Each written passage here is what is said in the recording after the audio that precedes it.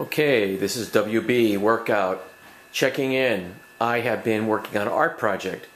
I found a plain lampshade in the alley a year ago, and I have been wanting to do something with it. Well, this is what I've done. These are oak leaves I've collected, and it's also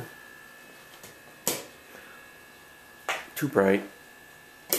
It's also tissue paper and watered down Elmer's glue that I put together. So this is the result of taking a plain lampshade and using tissue, various colored tissue paper, oak leaves I collected, and uh, watered down Elmer's glue to make a collage.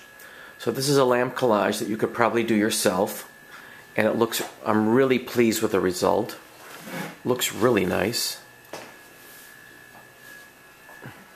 So this is something you could do at home. Very easy.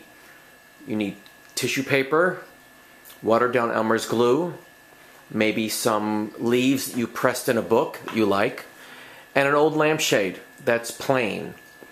And if you brush on the glue and then apply the tissue paper, keep brushing, apply, brushing, apply. Use your imagination and your instinct and your intuition.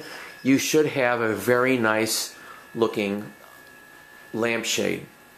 You can also do this with old jars and make them votive candle holders. Uh, it's very easy to do. Uh, you can also make collages on paper of all different kinds, but it works very nice with lampshades and jars. So there is my uh, lampshade collage that I did today in the middle of a snowstorm. I'm very proud of it, and I wish all of you well. Mitakuye Oyasin.